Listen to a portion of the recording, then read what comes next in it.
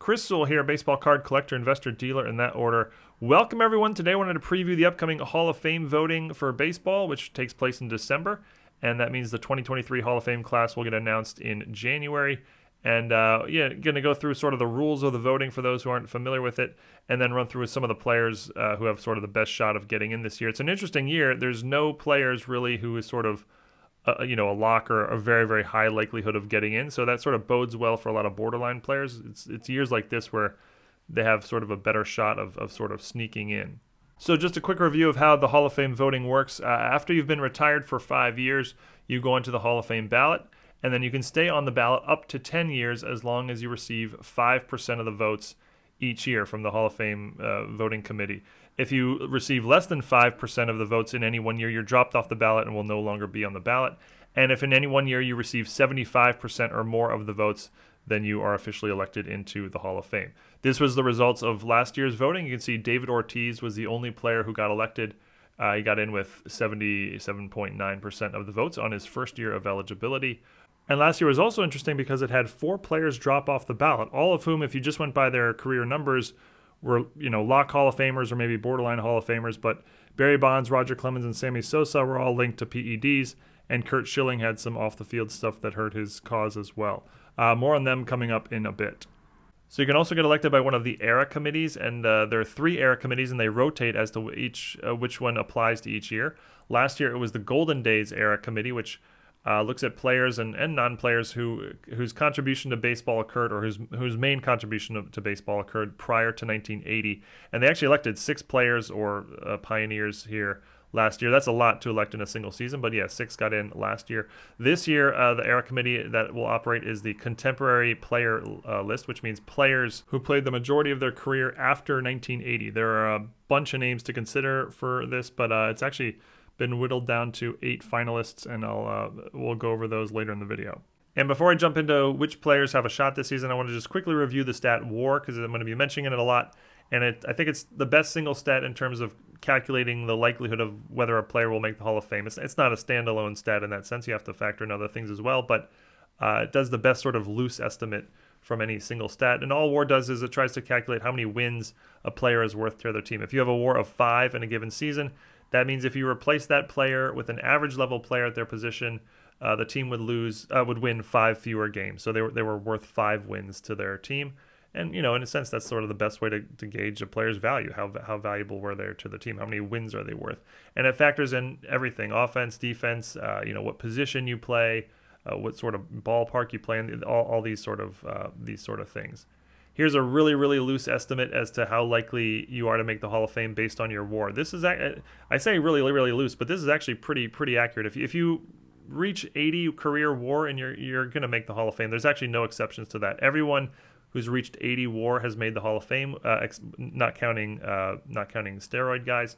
If you if you don't get to 40, you really have no shot. There are a couple exceptions there. There's a couple players who got in with like they're in the high 30s, but that's really really rare if you if you're around 60, you're probably about 50-50. And uh, yeah, you can look at the chart there. And this this chart does a pretty good job of estimating the likelihood you'll make the Hall of Fame based on your WAR. So here are the players that are returning to the ballot this year, meaning they were on the ballot last year, but they didn't get elected, but they also got enough votes to stay on the ballot, so they're back. Uh, and they're sorted here by the percentage of votes they got last year. Because you can see Scott Rolen got the most percentage of votes last year, 63%, getting pretty close there uh, Todd Helton and, and Billy Wagner right around 50, and then all the way down to the lowest of Torii Hunter, who got 5.3% uh, of the votes, just barely stayed on on the ballot.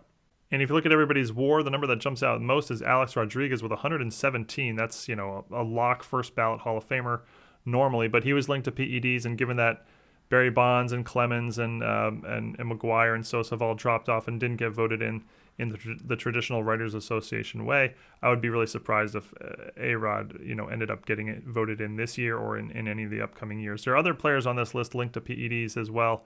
Uh, Gary Sheffield, Manny Ramirez, and Andy Pettitte. So I'd say none of those probably have a realistic chance of getting in this year. You can see nobody else got to the uh, the the 80 war mark, which is sort of like the lock Hall of Famer. Scott Rolen got the closest at 70, and he he's also got the most uh, the highest percentage of votes last year.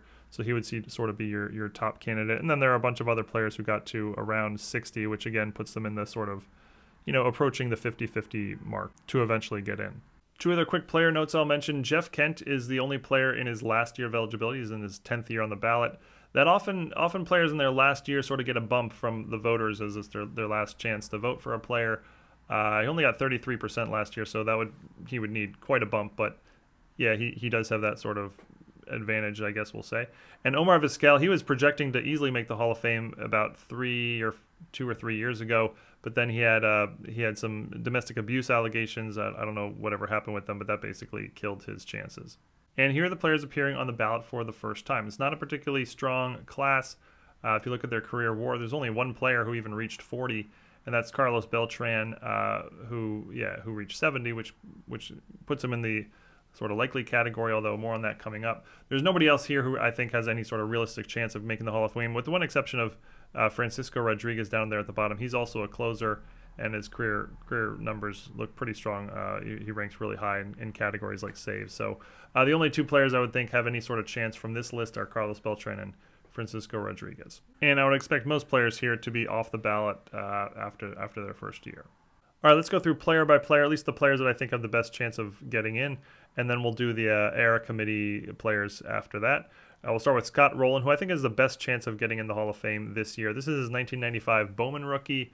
He doesn't have many rookies. He's got the Bowman. This comes in like a gold foil parallel. He also has the Bowman's best, and uh, that comes with a refractor. But uh, like I said, 70 career WAR. That you know that's probably enough to get him in. The career numbers really aren't aren't really there. 2,000 career hits, uh, 300, you know, just over 300 home runs. That that's not really enough. 281 batting average is nothing exciting. Seven All Stars and eight Gold Gloves. Those that that's sort of really impressive. So I, I, would say the 70 career WAR and the eight Gold Gloves probably get him in, and I think he does benefit this year from the uh, voting situation. All right, next up is Todd Helton. That's his 1993 Topps traded rookie. I believe that's his only official rookie card career WAR of 62 is interesting comparing him to Scott Rolen. The uh, WAR is down, 62 down from 70, but all the career numbers are way up. 2,500 hits, uh, 369 home runs, 316 batting average. Uh, that's an impressive stat. Clearly, the most impressive stat that he has. Uh, over 1,400 runs and RBIs for his career. Those are both pretty solid numbers.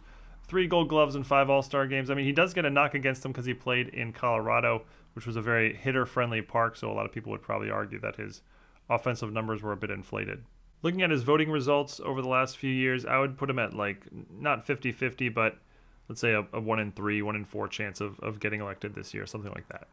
Next up is Billy Wagner, and this is 1994 Topps rookie. He's actually got a bunch of rookies from 1994. I think the SP is maybe his most desired. Uh, they're, they're, pretty inexpensive. This Topps card here is Topps rookie. You can get probably for like a buck, something like that. Uh, but like I said, 28 career WAR, although WAR really doesn't apply to closers. 422 career saves. That ranks sixth all time. Although uh, we'll probably probably rank eighth all time by the end of next season. 231 career ERA. That's incredibly impressive. A career WHIP below one. Uh, these are all impressive numbers. Although uh, closers generally have a pretty tough time making making it into the Hall of Fame. I'd say he's got a shot this year, but I'd put him in the uh, pretty unlikely category. I'll mention Alex Rodriguez real quick here. This is his 1994 Upper Deck rookie. He has a bunch of rookies. They're all Upper Deck brands. Upper Deck, Upper Deck SP, Upper Deck Collector's Choice. And he, like I've mentioned before, would be basically a lock Hall of Famer. 117 WAR. I mean, that is pretty amazing, and that would actually put him as one of the top, you know, 20 players of all time. Three-time MVP, 14-time All-Star. These are all, you know, no-brainer first ballot Hall of Fame numbers. But he was linked to PEDs, and like I mentioned, with the other players who were, you know, all-time greats but linked to PEDs, uh, not making it in and, and eventually getting bumped off the ballot, and they're going to have to get in through one of the, you know, the era committees later on. I, I don't see how Alex Rodriguez, how you could justify voting in Alex Rodriguez when you didn't put in Bonds or uh, or Clemens in the, in the traditional manner. And the only other returning player with I think any sort of long shot of getting in is Jeff Kent.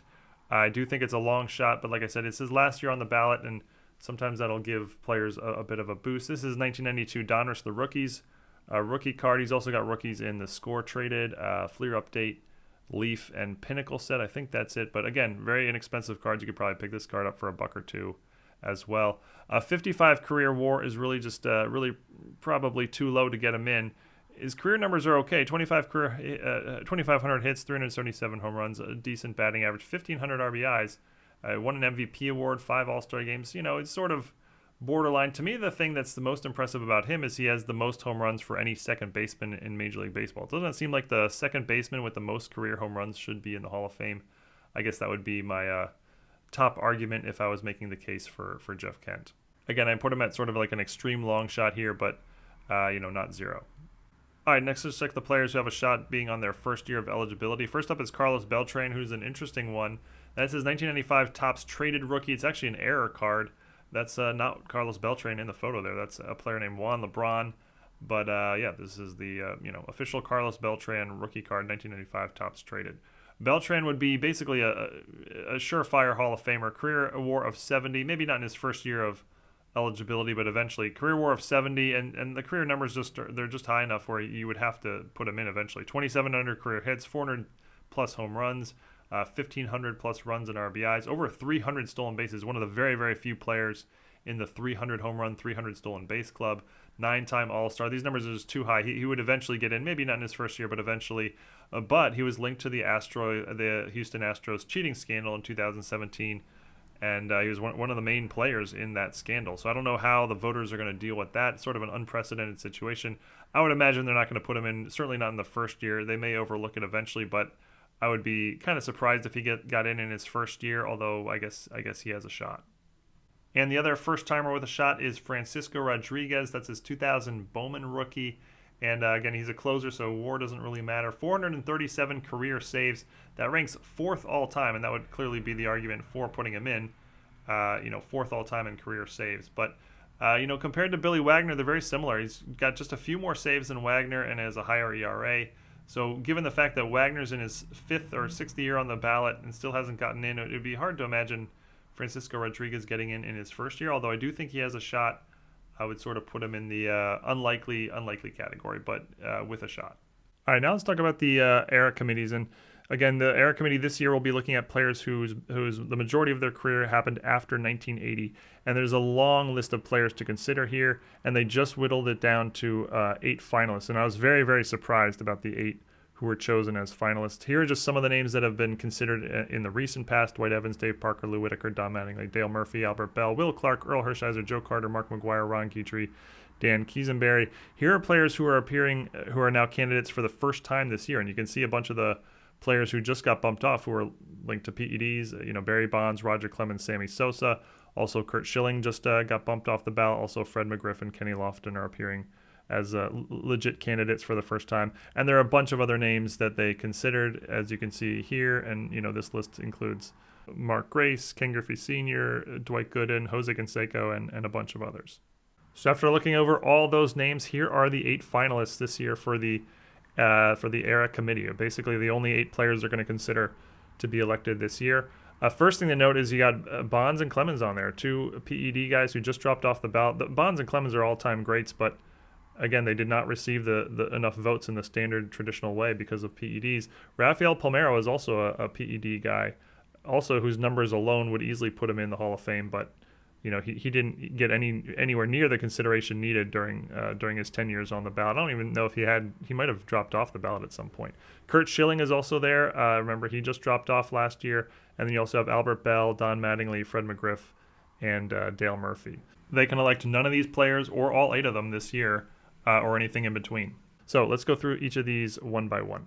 So first up is Barry Bonds. That's his 1986 Topps traded rookie. He's also in the 86 Donruss the rookies set and the 86 Fleer update set. And actually, his 87 cards are considered rookies as well because all his 86 cards are in update set. So he has an 87 Donruss Fleer and Topps rookie as uh, as well.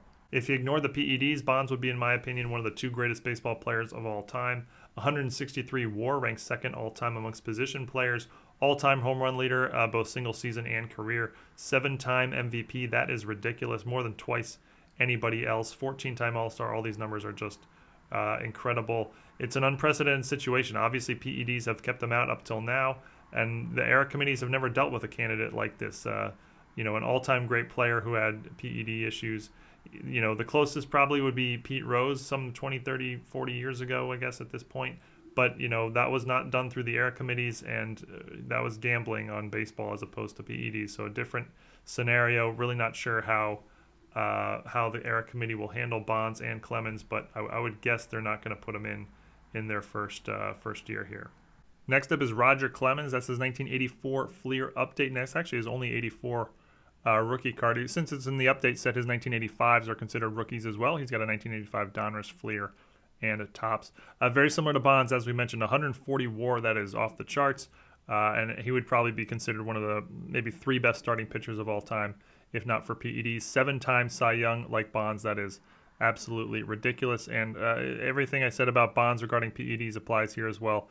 Sort of an unprecedented situation. My guess was would be they don't put him in in his uh, first year on the ERA committee, but uh, again, it's not uh, not something that's ever been dealt with before. Next up is Rafael Palmeiro. That's his 1987 Topps rookie. He also has a rookie in the 1987 Donruss set. Just going by the numbers, he's an absolute lock Hall of Famer. 72 career WAR puts him in the you know highly likely category, but way over 500 home runs and over 3,000 hits. Either of those numbers alone gets him in the Hall of Fame. Normally, there's no player with either of those uh, milestones who is not on the Hall of Fame, not linked to PEDs, and he reached both of them. One of the very, very few players to reach both of those uh, those stats. Now he's got going to have a tough road here. He's you know clearly third in terms of the PED guys on this list. As great as he was, he's he's clearly behind Bonds and Clemens in the all-time great category. So in order to get elected this year by the ERA committee, Bonds and Clemens would have to also both get in, and then Palmeiro. You know I don't really see that happening, but again, this is sort of uncharted territory. Next up is Curt Schilling. That's his 1989 Donruss rookie, and that's actually his only rookie card. You can see him portrayed there with the Baltimore Orioles. Didn't play much with the Orioles. Played most of his career with the Phillies and uh, and the Diamondbacks. Just going by the numbers, he's he's probably Hall of Famer. I mean, he really is a Hall of Famer to be honest. 79.5 WAR. That that alone is sort of enough. The career totals are not amazing, but they're they're certainly good enough. Over 3,000 strikeouts, and he also has some impressive uh, World Series performances, which should should add to his case. Now he had some uh, major off the field stuff uh, that has really hurt his cause in the, in the voting some very controversial, you know, statements and viewpoints. I don't know how that's going to, you know, apply here to the ERA committee. If I were to guess, I would I would guess he does not get in this year. All right, now the four players who don't have all this controversy and off the field PED stuff surrounding them. Uh, first up is Don Mattingly, 1984 Donruss rookie there on screen. He's also in the Topps. He also has a Topps rookie and a Fleer rookie from 1984. And Donnie Baseball, this card here is was one of the hottest cards in the hobby for Uh, a number of years in the late 19, 1980s. And you know, some people I mentioned to today, like Don Mattingly's not in the Hall of Fame, and you know, the, their first reaction like, "What? What? How is that possible?" Because they, they remember Mattingly being such a huge figure in the sport in the in the late 80s. If you go by the numbers, they're really just not there. He, his career WAR of just 42 he just didn't play long enough to accumulate accumulate Hall of Fame worthy numbers. 2,000 hits, 200 home runs. These just aren't enough. A batting average of 307, that's pretty impressive. And nine Gold Gloves is, is, is pretty uh, impressive as well. But again, if you look at all these numbers in isolation, this probably isn't a Hall of Fame career. Now, the argument you can make for Don Mattingly is that he reached the elite level of the game, which very, very few people do. For, for a good three or four year stretch, he was essentially the best player in baseball, or one of the two best players in baseball, we'll say. Uh, and uh, you know, so that would be the case to make for Mattingly if you valued, you know, reaching eliteness, if even just for a short period, over longevity, where you accumulate numbers. All right, now Dale Murphy, who I think is a very similar case to Don Mattingly. This is 1977 Topps rookie. He shares it with uh, three other players. Obviously, that is his only rookie. He's shown as a catcher here, but he actually played most of his career as an outfielder. Like Mattingly, the num- the career numbers really just aren't there. 46 WAR, that's sort of at the low end of you know consideration. Uh, only 2,000 career hits. He did at 398 home runs, which is decent, but you know certainly not enough to get you in alone. 265 batting average is pretty low, and there's if you just look at all these numbers in isolation, I, I, don't I don't think there's a Hall of Fame career there. But like Mattingly, he did reach the, the elite level of the game for a good you know three four year stretch or so in the early 1980s. Dale Murphy was one of the best players in the game and, and, and literally one of the two or three best players in all of baseball. And he even won back to back MVPs in that period. So that would sort of be the case if you were arguing on uh, you know Dale Murphy's behalf. Next up is Albert Belle, who again is sort of a similar case to Mattingly and Murphy, not quite, but same sort of idea. Played his first two seasons as Joey Belle, which is why you see that on the card there. But that's his 1989 score traded rookie. He's also in the 1989 Fleer update set, and those those are his only two rookies, and they are extremely cheap. You can pick them up for less than a dollar. Again, the career numbers really just aren't there. 40 career WAR is basically the bare minimum. 1,700 hits, not very impressive. 381 home runs, that's okay. 295 batting average is nice, uh, but you know if you just look at all these numbers in isolation, this, this probably is just not a Hall of Fame career. Uh, but again, the argument to be made for him is that he was great while he played. He actually only played 12 seasons and really only played 10 full seasons. So to accumulate these numbers in 10 full seasons, where you know many of the other players in the Hall are playing 15, 16, 20 seasons, you know, that's the case to be made. And and you could say that Albert Belle was one of the three, four, five best hitters of the 1990s, and that would sort of be, you know, the case to be made for him. He was he didn't play very long, but he was great while he played. And the last candidate to look at is Fred McGriff. That's his 1986 Donruss rookie. He's one of the very few players whose rookie card appears in the 1980s, but he only has one rookie card. He wasn't in the Fleer or the top set for whatever reason. I guess he does have the 86 Leaf as well, but that's essentially just a uh, parallel. McGriff is a really interesting one to me. He, he, got very, very little consideration when he was on uh, the ballot for 10 years, just never got anywhere near close. And I'm not saying he's like a lock Hall of Fame or anything, but to me, he should have gotten more consideration. 53 career WAR is a little low, but the number that really stands out is 493 career home runs. There's no player with that many home runs who's not in the Hall of Fame, who's not a PED guy. You know, 500 home runs is essentially like a, a milestone lock lock number for the Hall of Fame. He got 493, so I don't know why he didn't get more more of a look. Uh, the rest of the numbers are sort of okay to good, not great if you're making a Hall of Fame case. Uh, but again, the home run total I think should have led to more of a consideration. All right, I'm going to sort of make a prediction here, but let me be clear up front. I have no insider information, and this is just, you know, one random guy's best guess. I also make this prediction every year because it's something I, I, I, try to, one of the few sort of fun prediction, you know, gambling aspects of investing in sports cards that I do, but I, I get it wrong essentially every year. So these should be used for entertainment purposes only. I'm going to predict that Scott Rolen gets voted in this year by the baseball writers, and he's the only person they elect. Uh, Todd Helton Billy Wagner will both sort of get, you know, more votes than they've had in the before. Sort of increase their odds that they'll eventually get in, but not enough this year. Carlos Beltran and Francisco Rodriguez won't get in this year, but will get enough votes to make it sort of likely that they will eventually. And on the ERA committee, I'm going to say that uh, they're going to elect two players, and they're both going to be from Group One, as you see it here. They're not going to elect any of the PED guys nor Curt Schilling. They're going to uh, select two players from Group One if you made me guess, I'm going to guess uh, Don Mattingly and Fred McGriff. So that's it for my preview of the upcoming Hall of Fame voting. Uh, let me know what you all thought in the comments of this video, which whether you enjoyed this or not. I really like making this sort of content, but you know it's not really sports card uh, focused, so I don't know if people uh, appreciate that or not. But uh, yeah, would love to hear people's opinions. Also, you know, do you think my analysis on each player was accurate, or do you think I missed some things? I'm sure that I did, and I'm sure other people have you know strong opinions about some of these some of their favorite players growing up. So would love to hear that in the comments as well. But until next time, have a great day. Stay safe. Eat your vegetables. All that good stuff. Thanks everyone.